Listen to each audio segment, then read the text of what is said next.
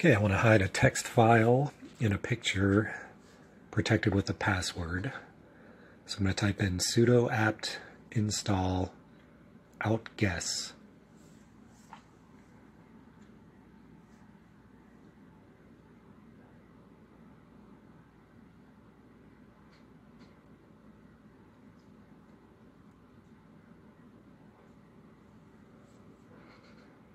Now the command line opened in that folder, I want to put test file 1 into the Disney 04. So I'm typing outguess-k. Put your password in quotes. Dash D. Test file.txt. I want to put that file into Disney 04 .jpg and I want my output file to be called secret.jpg.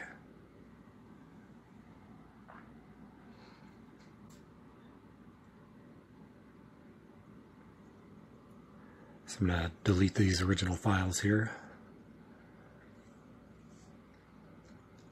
Now to extract my secret file, we'll type outguess-k and the password. Then dash R, the source, which is secret.jpg. And then what I want my output file to be, I'll call it secret.txt.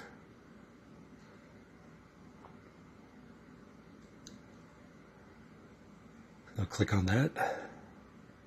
It's got test, test, test. So everything went good with that.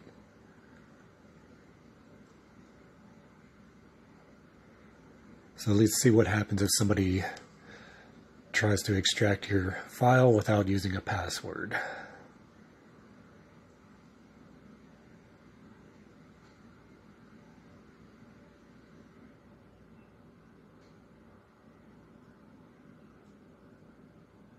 So you get that extracted data len too long error.